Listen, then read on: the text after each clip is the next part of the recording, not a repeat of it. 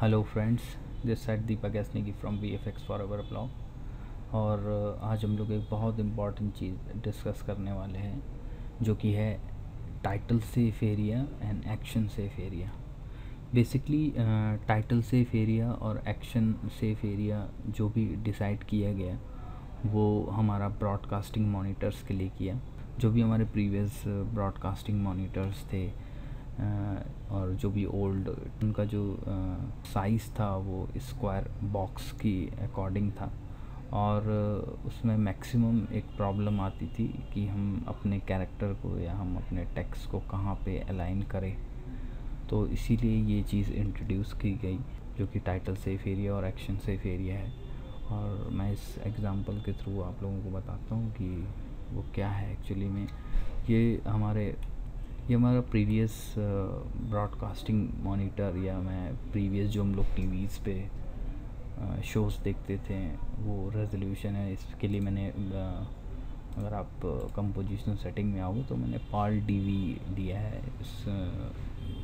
Seven twenty five seventy six इसकी height और width है। किसी भी सॉफ्टवेयर में जिसमें आप कंपोजिटिंग कर सकते हो या एडिटिंग करोगे वहाँ पे आपको टाइटल सेफ़ और एक्शन सेफ़ एरिया मिलेगा। आप अपने एक्शन को और अपने टाइटल को पूरी कंपोजिशन में कहाँ पे प्लेस करो कि वो मॉनिटर्स पे अच्छा दिखे या टीवी एलसीडी टीवीज़ पे या पुरानी जो सी आर टी होती थी, उन पे कैसा दिखे। तो बेसिकली यहाँ पे ये प्रीवियस जो हमारे टीवी सेट्स थे, उनकी स्क्रीन है, जहाँ पे पाल मैं यूज़ कर रहा हूँ।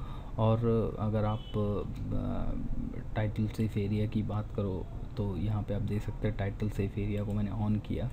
तो बेसिकली जो आ, मेरा ये वाला एरिया है this is my title safe area और जो मेरा ये वाला बॉक्स है जो कि आप देख सकते हैं यहाँ पे मेज़र किया गया है ये वाला बॉक्स ये मेरा एक्शन सेफ़ एरिया को डिनोट करता है। आप अपने कंपोजिशन में जितना भी टेक्स्ट एलिमेंट है या जो भी टाइटलिंग का वर्क है, वो कोशिश करें इस बॉक्स के अंदर हो। और जितना भी कंपोजिशन में सब्जेक्ट है मे बी कैरेक्टर्स हैं ऑब्जेक्ट्स हैं, जो भी हैं, वो आप इतने पोर्शन तक ही कंपोजिट करें। क्योंकि इसके बाहर का जो एरिया है ये ये आपके मॉनिटर्स में नहीं दिखेगा। यानी ये कट हो जाएगा, इतना पोर्शन तो इसीलिए ये एक मेज़रमेंट बनाया गया है कि आप अगर अपने टीवी स्क्रीन्स पे अगर कुछ भी डिस्प्ले करना चाह रहे हो तो आपको ये रूल फॉलो करना पड़ेगा। बेसिकली पुराने जो टीवी सेट्स थे, उनमें तो ये रूल बहुत ज़्यादा यूज़ होता था। अब इसकी ज़रूरत बहुत कम पड़ती है, लेकिन अभी भी still we are using this technique क्योंकि इससे एक बहुत इंपॉर्टेंट चीज़ हमारे लिए बहुत इजी हो जाती है, जो कि है हमारा कंपोजिशन का अलाइनमेंट और अगर आप टाइटल सेफ़ और एक्शन सेफ़ एरिया से अपने कंपोजिशन को अलाइन करोगे तो कभी भी आपका कंपोजिशन ऑड नहीं होगा. तो बेसिकली जो मेरा ये एरिया है, ये मेरा है टाइटल सेफ़ एरिया और ये जो मेरा एरिया है, ये एरिया ये मेरा है एक्शन सेफ़ एरिया मैं एच डी मोनीटर्स के लिए भी दिखा देता हूँ आप लोगों को। आप देख रहे हो ये जो कंपोजिशन है, ये मैंने एच डी टी वी की कंपोजिशन क्रिएट करी। सेम यहाँ पे भी वही चीज़ है, जो ये वाला बॉक्स है, ये मेरा H D action safe area है, और this is my H D title graphic safe area तो ये भी यही कहता है, जो भी आपका ग्राफिक्स एलिमेंट है, या टेक्स्ट हैं, वो आप कोशिश करें कि इस बॉक्स के अंदर हो और जितना भी एक्शन जितनी भी फ्रेमिंग आपको करनी है, वो कोशिश करें कि आप इस बॉक्स तक ही लेके जाएँ। क्योंकि इसके बाद का जो भी पोर्शन है, वो मे भी आपके टीवी एलसीडी टीवीज़ पे क्रॉप हो जाए। तो ये बहुत इंपॉर्टेंट कॉन्सेप्ट है, जो कि मेन बिगनर्स होते हैं, उनको नहीं पता है। मैं आपको जस्ट एक एग्ज़ाम्पल के थ्रू भी बता देता हूँ कि इसको मैं कैसे एक्सप्लेन कर सकता हूँ। अगर मैं आ, कोई भी ग्राफ मोशन ग्राफिक्स क्रिएट करना चाह रहा हूँ या मैं किसी टीवी सीरीज़ के लिए वर्क कर रहा हूँ मूवी के लिए वर्क कर रहा हूँ वी एफ़ शॉट बना रहा हूँ देन उस टाइम अगर मुझे कुछ क्रिएट करना है मे बी मैं यहाँ पे H D T V ten eighty twenty four frame per second का मैं एक वो ले लेता हूँ। यहाँ पे आप देख सकते हैं। इसको हमेशा ऑन रखें क्योंकि ये आपका मेज़रमेंट शो करेगा। यहाँ पे सबसे इंपॉर्टेंट चीज़ है ये टाइटल सेफ़ एरिया और एक्शन सेफ़ एरिया जिसको अभी मैं एग्ज़ाम्पल के थ्रू बता रहा हूँ। मे बी मैंने यहाँ पे एक टेक्स्ट को रखा है। आ, अगर मैं इसको ऑफ़ करता हूँ तो मुझे ये नहीं समझ में आता कि इसका सेंटर कहाँ पे है। तो अगर आप इसको ऑन करते हो तो आप देख सकते हो कि आपको इस पूरी कंपोजिशन का सेंटर दिखता है और ये बहुत इंपॉर्टेंट है क्योंकि बहुत सारे स्टूडेंट्स ये गलती करते हैं कि अपने टेक्स्ट को कहीं पे भी रख देते हैं क्योंकि टेक्स्ट की स्ट्रेंथ ज़्यादा नहीं है, सिर्फ़ आपके पास एक टेक्स्ट है या मे बी कुछ मोशन ग्राफिक्स बना रहे हो। मे बी मैं यहाँ पे आपको दिखा देता हूँ अगर मैं इसमें कुछ एनिमेशन ऐड करता हूँ।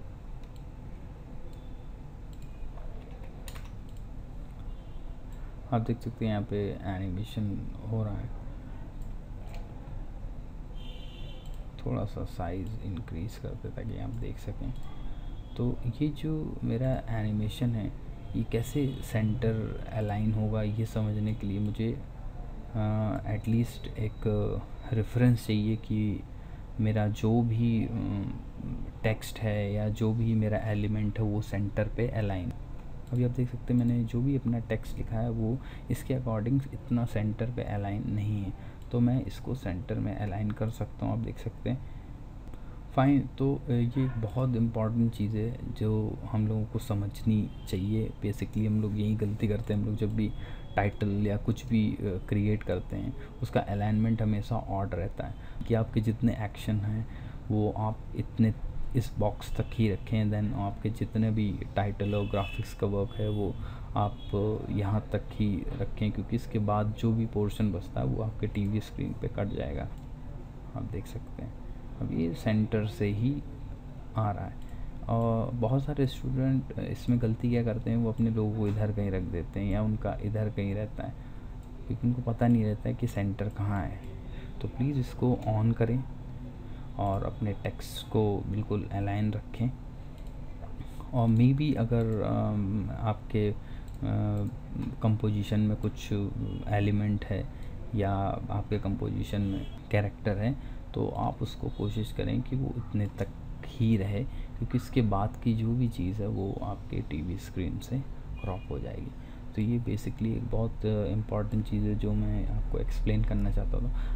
अगर आप विकीपीडिया में भी जाके देखेंगे तो आपको इसके बारे में बहुत अच्छी इन्फॉर्मेशन मिलेगी। क्योंकि आप देख सकते हैं ये पुराने टीवी की स्क्रीन है जहाँ पे आप पाल फॉर्मेट पे वर्क कर रहे हो स्क्रीन पे, जहाँ पे safe area on PAL screen जो रेड पोर्शन है that is your invisible area जो कि टीवी स्क्रीन में ये एरिया नहीं दिखने वाला। और जो आपका येलो एरिया है, ये ये आपका एक्शन सेफ़ एरिया यानी आपके एक्शंस यहाँ तक ख़त्म हो जाने चाहिए। इसके बाद अगर आप कुछ भी रखते हो, वो आपके टीवी स्क्रीन से कट जाएगा। Then green is your title safe area जो भी ग्रीन पोर्शन है, जितना भी आपका ग्राफिकल वर्क है या टेक्स्ट है, वो आप कोशिश करें कि इतने एरिया पे ही कंपोजिट करें। इसका एक रीज़न आप यहाँ देख सकते हैं, अगर आपने ये फॉलो नहीं किया तो आप देख सकते हैं कि यहाँ पे इस टीवी स्क्रीन पे जो कि प्रीवियस हम लोग यूज़ करते थे क्योंकि यहाँ पे टाइटल सेफ़ और action safe area, title safe area और एक्शन सेफ़ एरिया को इन लोगों ने यूज़ नहीं किया है तो आप देख सकते हैं आधे से ज़्यादा टेक्स्ट इनके कट गए तो ये एक बहुत इंपॉर्टेंट रूल है जो कि हम लोग बिल्कुल स्किप करते हैं, लेकिन अगर आप इस रूल को फॉलो करोगे तो आपकी कंपोजिशन और बेटर होगी और अच्छे से आप अपनी चीज़ों को अलाइन कर सकते हो। So thank you so much I think it would be beneficial for you